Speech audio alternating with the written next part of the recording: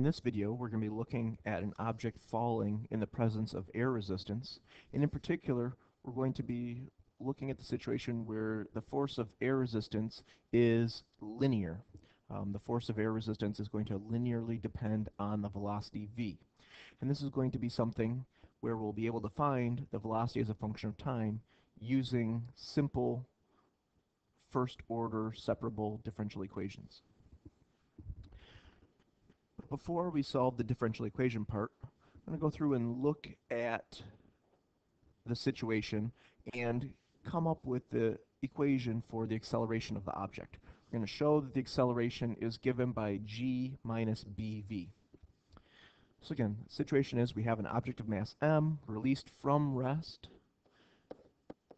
So the initial velocity is zero. It falls through the air, which exerts a it exerts a resistive force equal to minus mBv, where m is a constant, it's the mass, b is a constant, v is the speed of the object. So the fact that it's negative means that the force vector is opposite the velocity vector.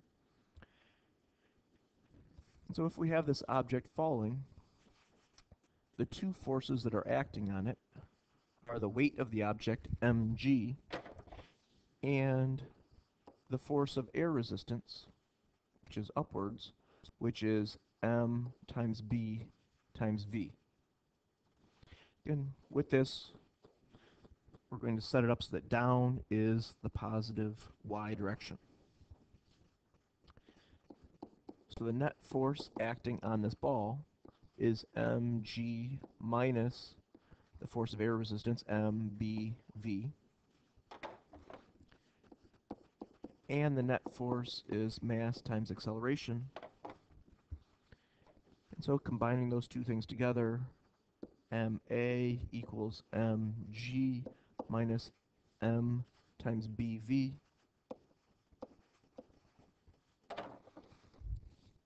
If I divide both sides by M, the m cancels out, and we get that a equals g minus bv.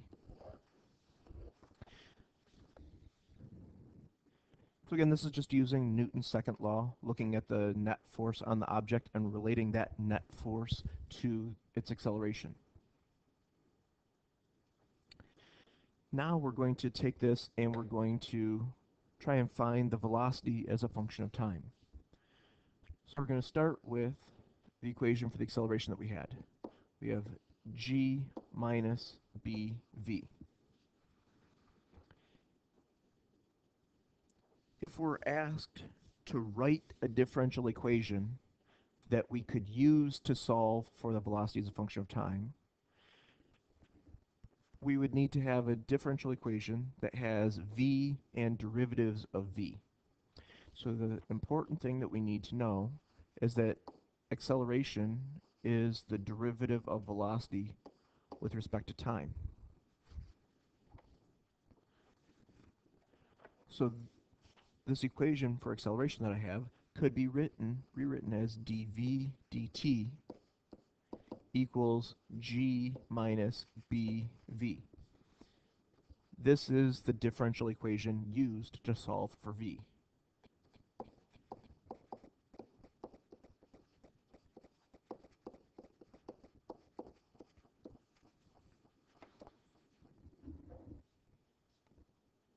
often you'll only be asked to write the differential equation but not solve it, and so this would be the answer.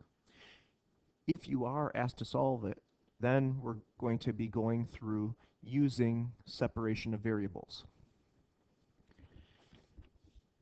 And so to do this, we need to get this in something that has v's and dv's on one side of the equal sign that we'll be able to integrate, and it has our t's and dt's on the other side of the equal sign. To do this, we actually have to recognize that we need to divide by the whole quantity that's on the right-hand side. Um, we can't just subtract over, you know, or add over a BV because it doesn't mean anything to try and do the integral of BV plus dv. That is not something that you're able to do. So we need to have it as something that we're going to be able to integrate. So we're going to write this as dv divided by the quantity g minus bv. We're going to set that equal to dt. So then the next thing to do is going to be to integrate both sides. The right hand side, that integral is going to be very simple. I'll look at that one later. The one on the left hand side is a little bit more complicated, but not too much. We're going to go through and we're going to use a substitution. We're going to use a u substitution. If I let u equal the quantity g minus bv, then we have that du is minus b times dv.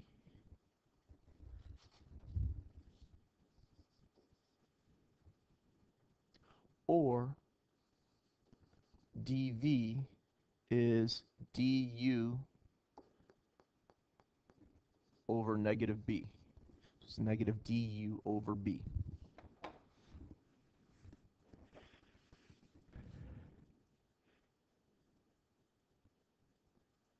And so with the substitution, we have, we replace the dv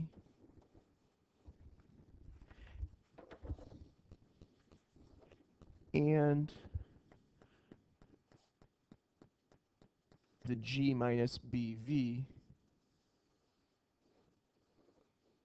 we replace with u. So this right, this left-hand side becomes the integral of negative du over b, so the b is a constant, so I can bring it out front, and then the denominator, g minus bv, just becomes u. So we've turned it from something that looks fairly complicated into a simple integration of du over u. This right-hand side is just going to be the integral of dt.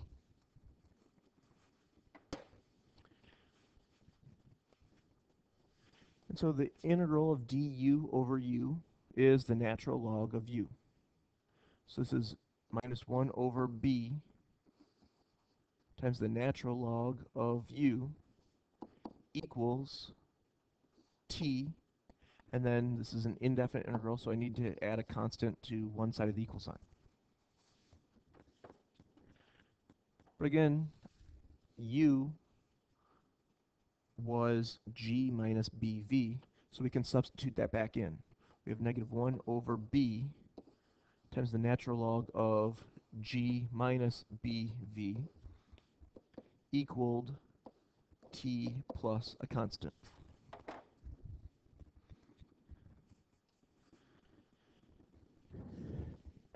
To simplify this a little bit more, I'm going to multiply both sides by negative b. Again, whatever I do to one side of the equal sign, I do to the other side of the equal sign. So this gives me the natural log of g minus bv equals negative b times t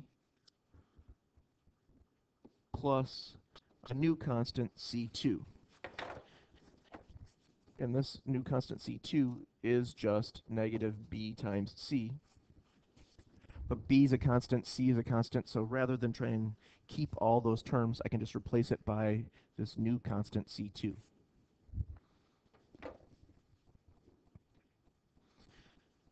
The next step is to get rid of the natural log.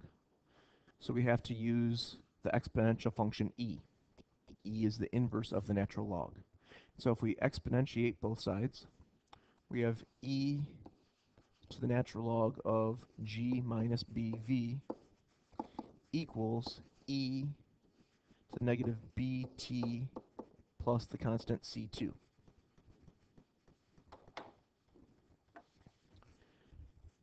So this gives g minus bv equals, this right-hand side can be rewritten as two exponentials.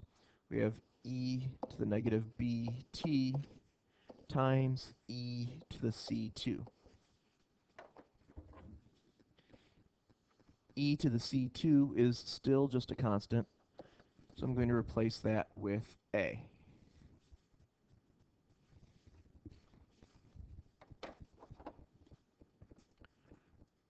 So I get that g minus bv equals a e to the negative b times t.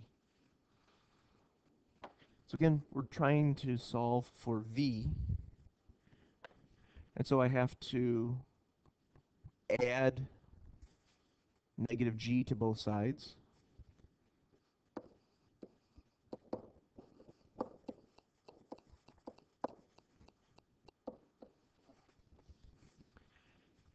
And then I have to divide both sides by negative b.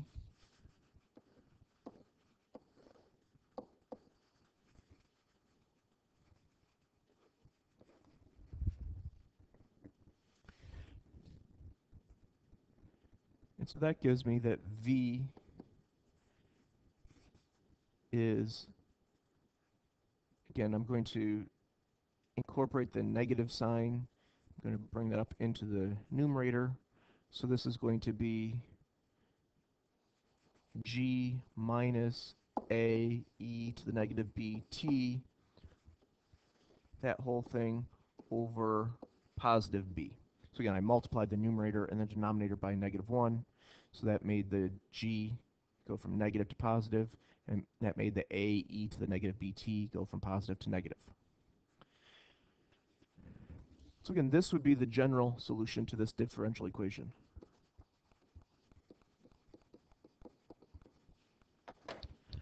But for our particular situation, to find the particular solution, which means to find that value of A that satisfies the initial conditions we're given, we're told that it starts from rest. So V is 0 at t equals 0.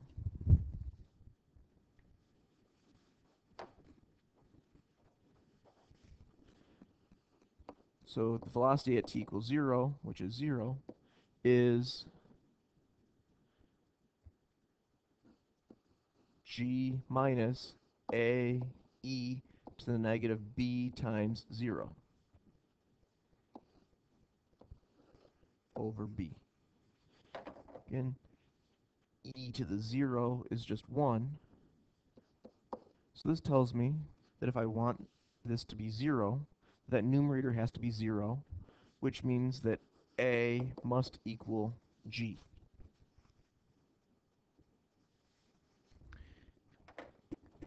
And so if I substitute that in, I get that the velocity as a function of time is g minus g e to the negative bt divided by b. This would be the solution. This gives me the velocity as a function of time. It's more common to factor out a g. So I could rewrite this as v as a function of time equals g over b times the quantity 1 minus e to the negative bt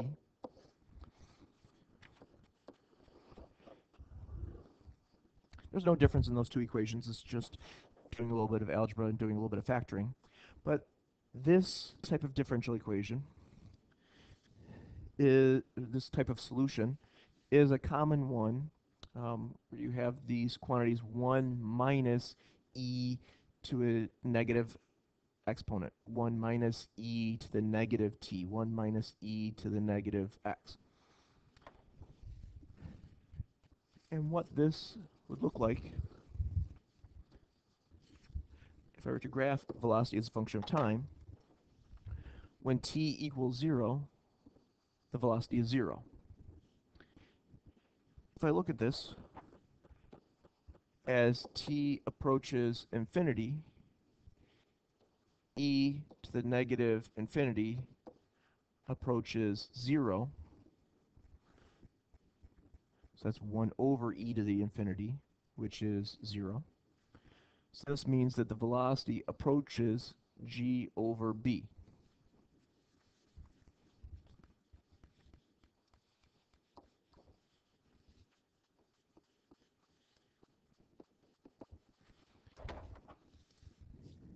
If you were to graph this out, you would see that this would be what the graph of velocity as a function of time would look like.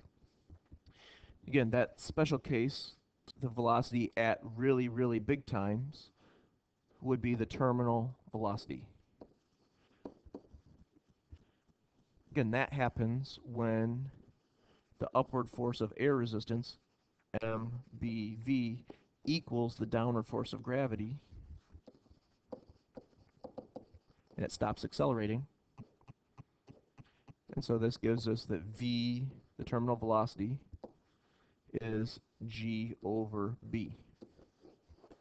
That is the constant value that it approaches as t becomes very big. In this example of the air resistance being linear with v, this is something that you're able to do in easy, simple first order differential equation. To, you know, you're able to solve that to get velocity as a function of time. It does not work as easily when you have that the force of air resistance is proportional to the velocity squared. Um, but again, sometimes you may be asked to find the equation for velocity as a function of time based on solving the given differential equation.